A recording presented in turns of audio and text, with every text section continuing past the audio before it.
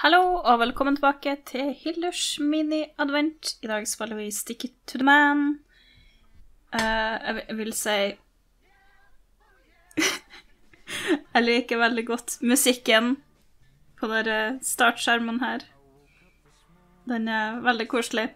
Så ti minutter fra nå. A hard hats Å, greit. Final frontier. That's what it's called, right? It's beautiful, endless. Feel the warmth of the sun millions of kilometers away on my skin without any atmosphere to stand between us. The upside is it's a truly amazing feeling. The downside is I'm truly about to die. Da. Would have guessed I'd die floating alone in space? You know, I mean, until now, I'd never been any higher up than the top floor of my apartment building, and I only went up there once. My mistake. It all started yesterday. Ordinary day, like uh, like any other. Is un- until I got hit on the head. Ah, Ouch! Jeez! That was a three-star impact, Wally. Uh, this one needs some work. Three stars?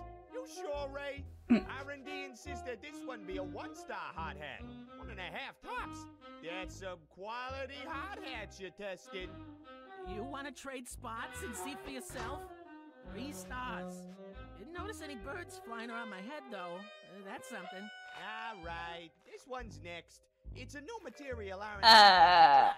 Says here it's based mostly on recycled banana peels and used juice boxes. Saved by the bell, huh? Oh, see you tomorrow, buddy. Jeg ville ikke brukt den hjelmen der. Uh, han har òg en hammer i hodet. Hvordan gjør jeg ting her, egentlig? Oh. Oh my god. OK, det er tydeligvis den veien vi skal.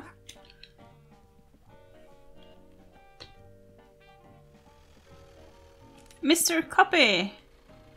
Hard Huh. Å, gud. It seemed like such a good idea at the time. Vil ikke si det er en god idé. Gamma 3, we've encountered storm systems too large to go around without delaying landing time. Uh, please advise. Gamma 3? Son, you told me your name was Jimmy. OK. Enda en Mr. Copy. Å gud, skal vi bare hoppe her? Nei, vi skal hoppe hit opp. Bare jeg som er dum. Somehow I always forget how much jumping is required to get to and from work. Ja. Veldig lett å glemme sånne ting. Gamma 3 calling base. Please respond. Base. Storm now intensifying beyond safety thresholds. Uh, unusually intense lightning activity observed. Attempting to abort. Uh, emergency support requested. Wow, plane made out of paper can't take the heat, huh? Or even a little rain? I bet those eggheads who thought up a paper airplane was a great idea, because it wouldn't be detected by enemy radar. I'm feeling pretty smart right now. Tell me you didn't get him to redesign our parachutes, too. Eh, Han så ikke håpfull ut, for å være helt ærlig. Mayday. Oh, Mayday! The lightning now at level 5 alert. The Omega level package is in danger. Repeat, the Omega level Son, I appreciate your concern, but my package isn't... Eh,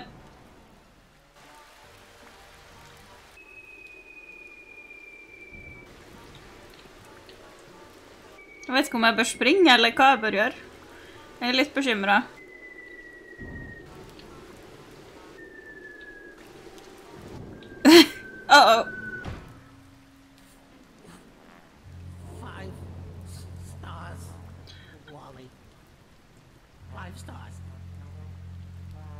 Det var en liten romvesenting. Jeg klarer ikke å bestemme om han er creepy eller søt. Så ja. Å gud, den munnen der var creepy. OK, greit. Chapter two. Oh. Wh- Where am I?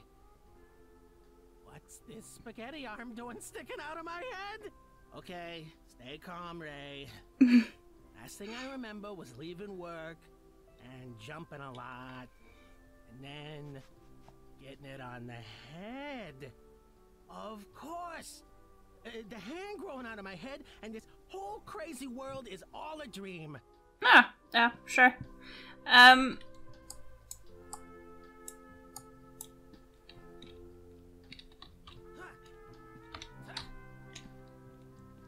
Hvordan, kan, kan, vi bruke han da på noe vis? Oh. Hey, nice work, me. If I know my subconscious, this bottle will have something inside it to help me get... Uh, er det fullt av hender?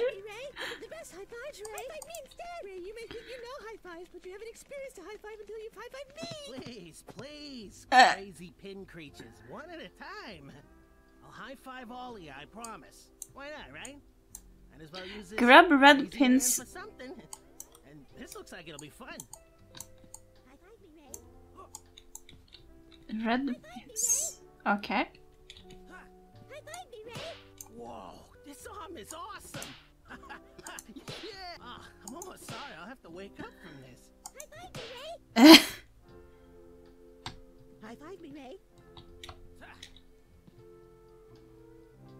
ah, er det havfrue? Det er fullt av andre hender her òg, da.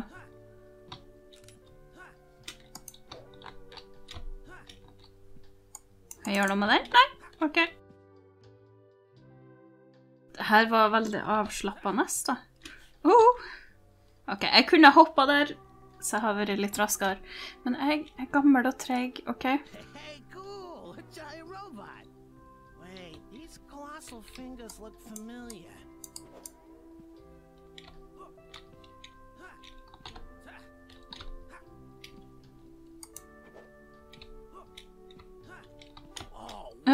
No way! A giant me robot! Det var en elefant der.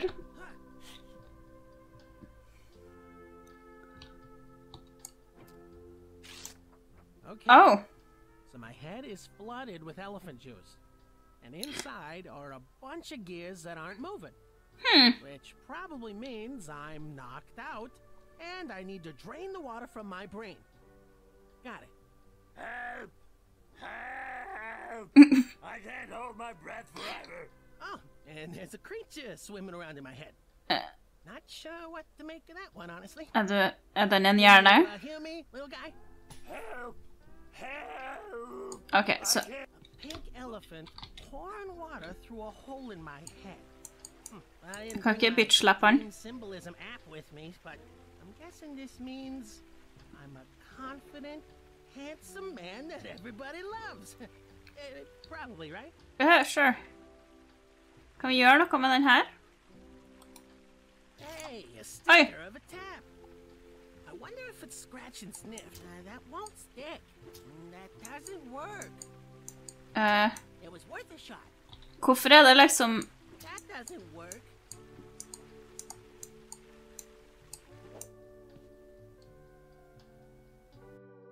Å ja. Jeg kan eh, plassere den sånn. Kan jeg liksom gjøre noe med den? Dere vet hvordan jeg er med puzzles, sant? Aha! Saved you, crazy alien creature thing. Eh, jeg tror.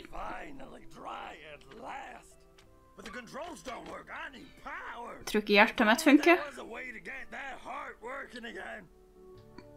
Uff da. Skal vi se da hvor uh, Hjertet var her nede. Yoo-hoo! Heart! Come here, Heart. Heart, come here, girl. I miss you. Er hjertet en katt eller noe? En hund, kanskje? My girlfriend lives in Robot Me's heart. And she's calling for a dog named Heart. Ja, en hund. Ok, greit. Oh. At least I'm not back in high school and also naked in this one. Again. Vel, det er jo greit. Um, hvordan skal vi komme oss dit bort? Kan vi liksom ta tak i den der og svinge oss? På noe vis? Jeg vet ikke. Kanskje vi må Hm. Ah, jeg, jeg er bare mindre smart, OK?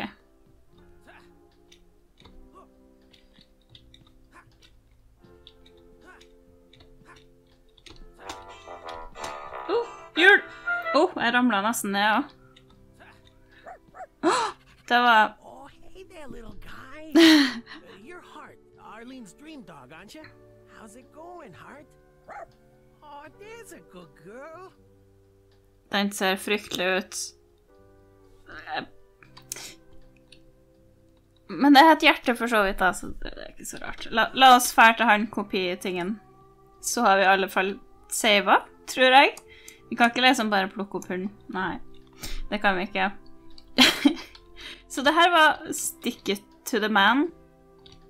Jeg liker at vi bare er sånn der papirutklipp og er flat og greier. Jeg vet ikke. Jeg tror jeg liker humoren. Det er litt sånn der Jeg vet jeg har sagt det før, men det er vanskelig å bare dømme et spill etter ti minutter. Men jeg tror jeg liker humoren. Jeg liker stilen. Det er jeg sikker på. Eh, dere kjenner meg. Jeg er ikke så superglad i puzzles. Men um, ja. Jeg ser nå at dere prøver, prøver å peke, men ja. De platene vi hopper på, det er papp.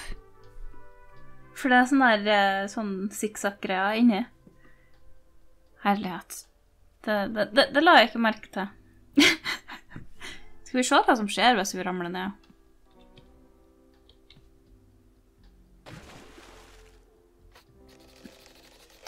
Oh my god, vi blir faktisk skrevet ut. OK. Kult. Jeg likte spillet her. Bare ut ifra det at når vi dør, så blir vi skrevet ut av en kopimaskin. Det, det er perfekt. Det, det prikken over i-en. Det er det eneste jeg trenger. så jeg håper dere likte denne episoden av Hildurs mini-advent. Håper dere har en fin advent. Og så snakkes vi i neste episode, når en, den blir å komme ut. Ha det bra.